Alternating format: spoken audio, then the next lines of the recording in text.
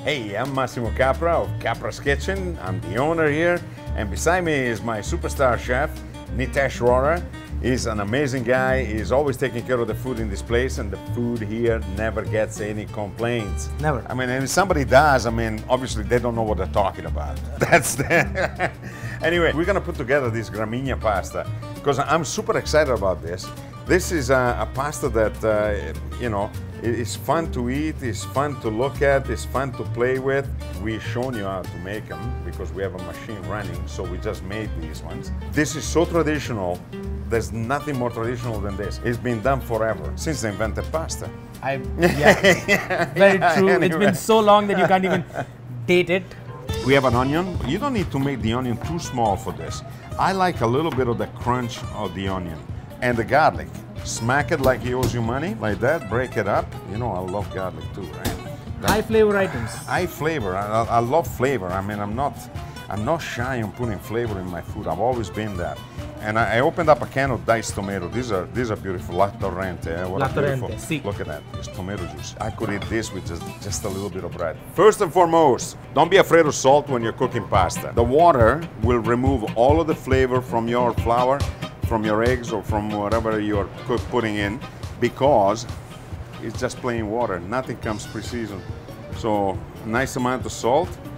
Put as much salt as you want, but at least a little pinch like this will be enough.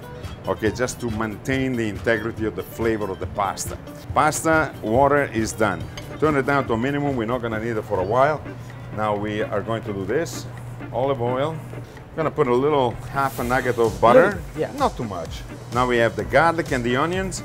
Dump them in, and you wanna cook them until they're translucent. Give it a good cook, eh?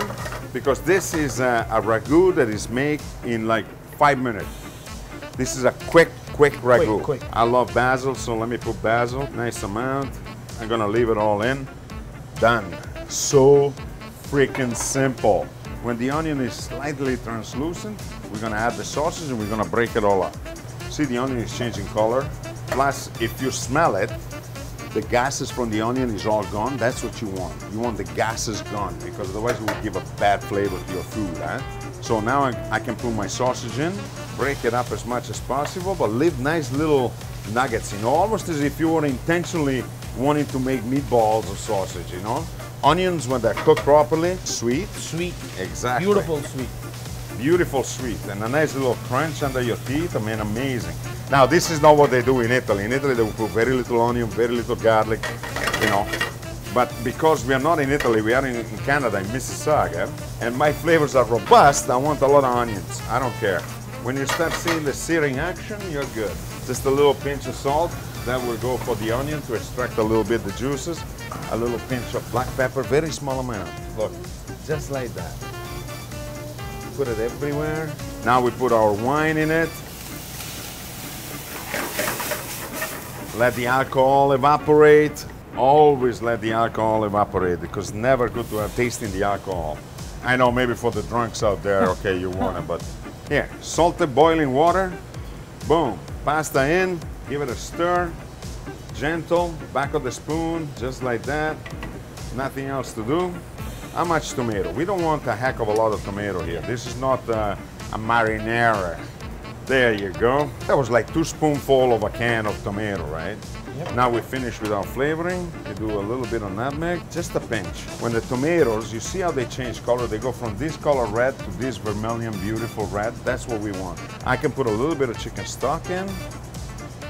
Three minutes for the pasta, five minutes for the sauce, right? I mean, it's so simple. Then the sauce will tell you when it's ready, huh? I mean, the sauce will speak to you. Pinch of salt. Salt almost there. And this sauce, even though it's a ragu, it's a meat ragu, it's a fresh sauce. It's a beautiful freshness and lightness to it. Yeah. Give me some pasta water. Boom. Right in. Let me collect all the pasta. Yes, baby. Chef, do we have some parsley chopped? Yes, I do Anywhere? have it ready for you. See, the, the pasta is not hidden by the sauce. You can see the pasta, you can see the sausages, you can see the tomato. That's a work of art, really. I mean, that's a properly dressed noodle. Put a nice amount in. There you go. And Exactly. We like to toss it. We like to flavor it. And that's the only other thing missing would be Parmigiano Reggiano or Grana Padano in this case, because in this kitchen we are a Grana Padano kitchen. Let's put the rest of the nugget of butter. There you go. We are butter lovers. And this is enough for two people, right? Easily. Give it a good toss and then we eat. Look at that. The more you toss it, the better it looks. It gets creamier. Put it all in, eh? put it all in, yeah. Sprinkle a little cheese. Make it nice, make friends with it. Go to taste it because this is really good. Ooh, yeah, baby. Gramigna la salsiccia. Mmm. Come on, man. There you go. Look at that. Creamy, delicious pasta. Look at that. It's so much fun to eat this pasta. Love it. It's so quick. yeah, absolutely. Four minutes, man. See what happens?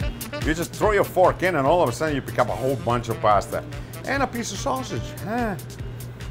Hmm. Huh? Outstanding. It's al dente, Al dente, but not sticking but it doesn't teeth. stick to your teeth. Yeah, Absolutely. that's so good. And those onions. When you get them, they, Yeah. they just almost pop in your mouth.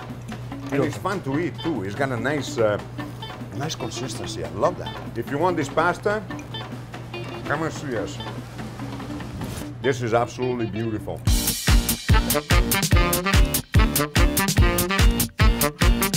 All right, Rosa. There is just a little. What happened to all of it? You guys ate it all. Okay. Well, Rosa, you can just lick the plate if you want. Uh. Oh, you got it. Okay. Jesus Christ, you you people are nuts. You're making me crazy.